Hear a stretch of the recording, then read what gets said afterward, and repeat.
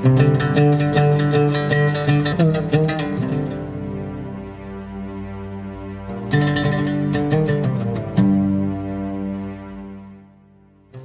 v-am regăsit la 30 de zile de rugăciune pentru lumea musulmană. Iată, în săptămâna mare, îi mulțumim lui Dumnezeu pentru că ni l-a dat pe Domnul Isus Hristos ca mântuitor. Dar de asemenea ne rugăm ca El să fie și mântuitorul musulmanilor.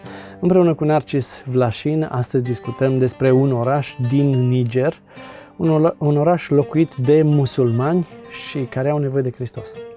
Niamey este capitala țării Niger, o țară uh, pe profil francez, uh, diferită față de Nigeria, care este pe profil englez um, și care este jumi-juma, Nigeria jumătate creștină, jumătate musulmană.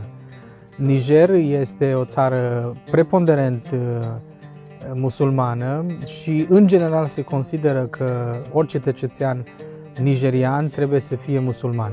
Deși există o populație, un segment din populație tradițional creștin.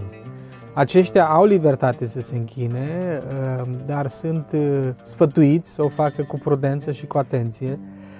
Și în anul care a trecut, uh, Nigerul a urcat șapte puncte, șapte locuri în, în topul persecuției pe glob, datorită faptului că o parte din teritoriul țării a fost cucerit de către grupurile teroriste care se adâncesc tot mai mult în Sahel, adică în, în Saharia subsahariană, în Africa subsahariană și uh, cuceresc aceste teritorii și impun prin violență, uh, au, își impun prin violență autoritatea asupra acestor locuri.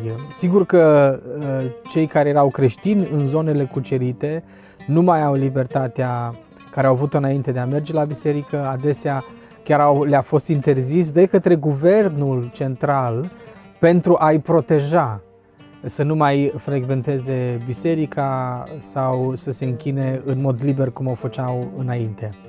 Dar în zona încă controlată de guvernul central, creștinii așa cum sunt ei, uh, tradițional sau mai, um, mai nou, au oarecare libertate de închinare. Sunt uh, radiouri creștine, sunt orfelinate creștine, sunt școli uh, tradițional creștine, adică vorbim de școală primară sau chiar și liceu.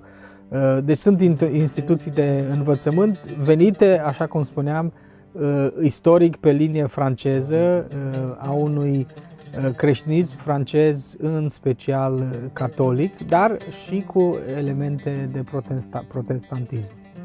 Sigur că în ultimii ani uh, Nigerul, cunoscând poate cea mai mare rată a natalității pe glob, adică 6,2, um, a crescut populația incredibil și este o populație tânără, mai bine de jumătate din populația țării este sub 18 ani. Acest lucru face ca lumea să fie curioasă, să afle nou, se pot îndepărta mai ușor de către trecut, de către istoria trecutului.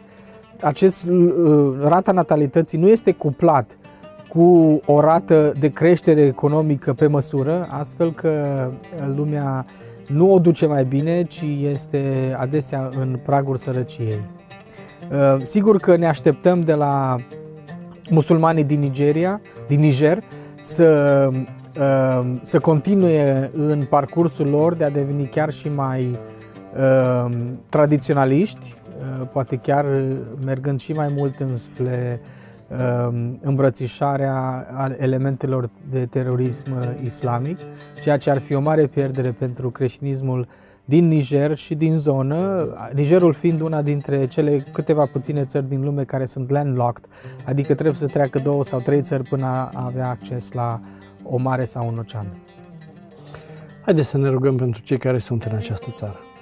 Tată, ne rugăm pentru uh, locuitorii din Niger, um, oameni care vor să te cunoască unii dintre ei și sunt uh, îngrădiți de către familia lor sau de către um, societate.